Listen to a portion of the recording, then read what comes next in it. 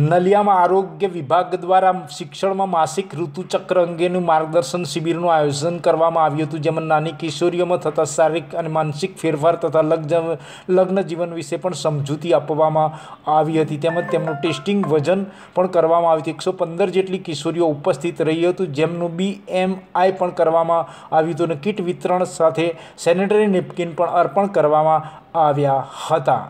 નલિયા લુહાણા મહાજનવાડીનોમાં આદિ પ્રાગટ્ય કરી કાર્યક્રમને ખુલ્લું મૂકવામાં આવ્યો હતો, જ્યાં કિશોરીઓને આરોગ્ય શિક્ષણ અને માસિક ઋતુચક્ર અને શરીરમાં થતી, થતા ફેરફાર વિશેની માર્ગદર્શન શિબિરનું આયોજન કરવામાં આવ્યું આજ બારા માર્ચ નલિયા ખાતે કિશોરી મેળાને આયોજન કરેલી છે. તેમાં આજ અબડાસા તાલુકાની ગામડેથી બધા કિશોરી બહેનો આવેલા છે. આજે કિશોરી બહેનોની સમાજમાં શું જરૂરિયાત છે, કેવી રીતે રહેવાનું છે, એની સમજણ બ્લોક લેવલે આપવામાં આવે છે.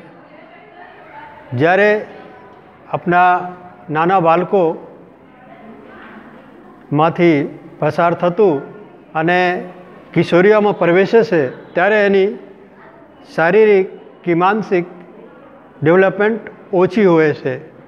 એવા કન્ડિશનમાં એની જાગૃત કરવા માટે આજે જો મેળો આયોજન કરેલી છે, તેમાં શું ધ્યાન રાખવાનું, રહેવામાં, ખાવા પીવામાં શું ધ્યાન રાખવાનું, જ્યારે માસિક ચક્ર ચાલુ થતું હોય, ત્યારે શું શું કાળજી રાખવાનું, આ બાબતે બધી સમજણ આપવામાં આવ્યા છે. માસિક ધર્મ ચાલુ થતું હોય, ત્યારે હાઇજીન પર વધારે ધ્યાન મૂકવામાં આવે એની માટે આપણા બ્લોક લેવલેથી સેનિટરી પેડની વ્યવસ્થા કરવામાં આવેલ છે, જે બધાને આજે આપવામાં આવશે. એની સાથે સાથે આજે ખાવા પીવાની પણ વ્યવસ્થા છે.